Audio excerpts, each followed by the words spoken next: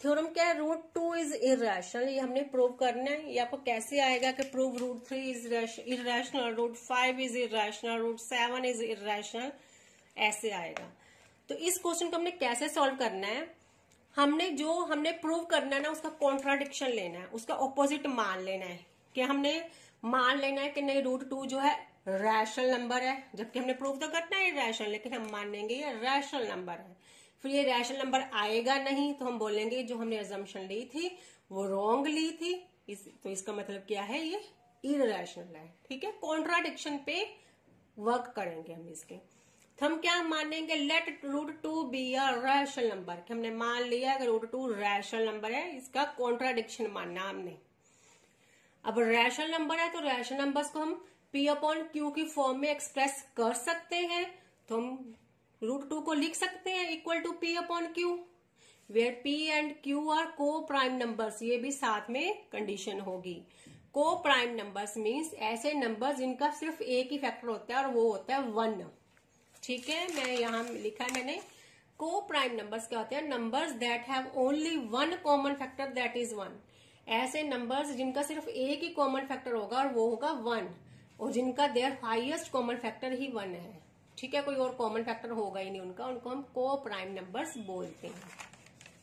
तो हमने मान लिया कि पी और क्यू क्यों को प्राइम नंबर्स है मीन्स पी और क्यू में सिर्फ़ एक ही कॉमन फैक्टर होगा और वो होगा वन अब हमने इसको क्रॉस मल्टीप्लाई करेंगे तो root two Q equal to P आ जाएगा।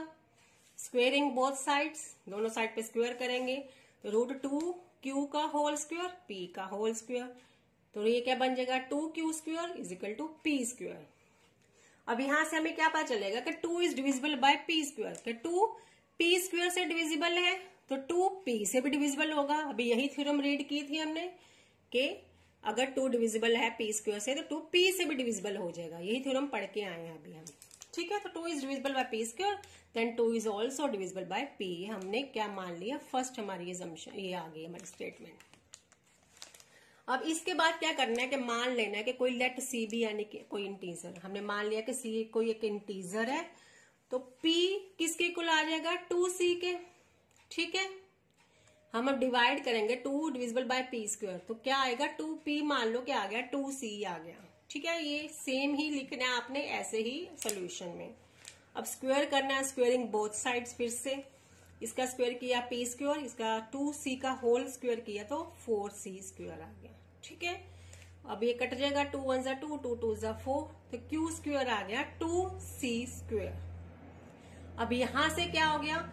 Two is divisible by Q square तो two is also divisible by Q अगर टू क्यू स्क्वेयर से डिवाइड होता है तो टू क्यू से भी डिवाइड होगा।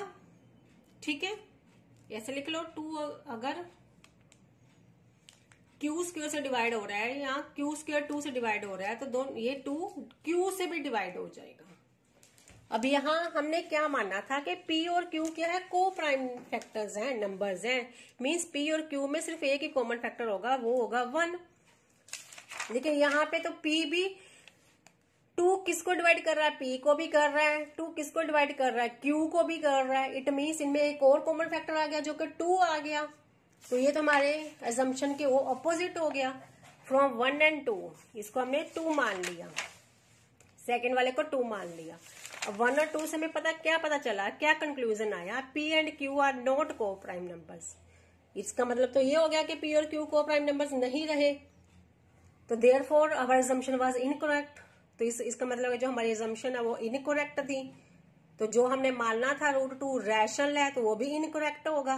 तो रूट टू क्या हो गया? प्रूव हो गया कि इरेशनल है hence proved therefore root two is irrational hence proved ठीक है?